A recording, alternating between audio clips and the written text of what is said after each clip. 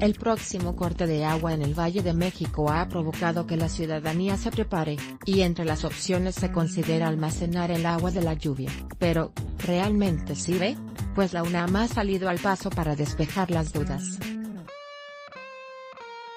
Un estudio del Centro de Ciencias de la Atmósfera, CA, de la máxima casa de estudios es contundente, el agua de lluvia de la Ciudad de México no es apta para consumo humano directo, porque además de microorganismos, contiene aluminio, plomo, zinc, mercurio, arsénico y níquel, entre otros.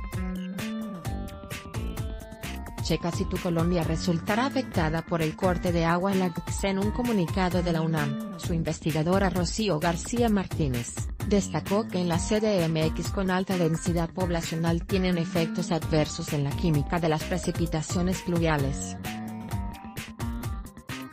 Explicó que lo anterior debido a que remueven de la atmósfera partículas y gases emitidos por fuentes naturales como la actividad volcánica, y antropogénicas, como emisiones vehiculares e industriales. Una de las conclusiones fue que debido a los contaminantes que contiene, solo puede ser utilizada para tareas como lavar automóviles y algunos tipos de ropa, o para riego, pero no para consumo humano. En el Edomex también.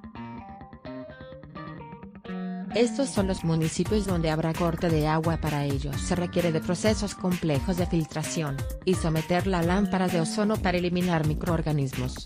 Las primeras lluvias de la temporada son importantes porque limpian la atmósfera de contaminantes, pero si tenemos dos días de precipitaciones, y tres o cuatro no, el aire estará de nuevo contaminado con humo y metales pesados. Tras un aguacero, comúnmente la gente enferma, pero no solo por la empapada, sino porque en ese líquido hay bacterias y elementos químicos dañinos para la salud, que ingresan a nuestro organismo de manera dérmica o por ingesta, explicó García Martínez. Las enfermedades más comunes son las de tipo respiratorio, provocadas por los cambios de clima y la proliferación de microorganismos. Los síntomas son dolor de cabeza, ardor o dolor de garganta, diarreas y fiebre. En cuanto a los elementos químicos, las precipitaciones pluviales contienen óxidos de nitrógeno y óxidos de azufre, que al reaccionar con el agua forman ácido nítrico y ácido sulfúrico, que dan origen a la llamada lluvia ácida. Barra vertical con información de Notimex barra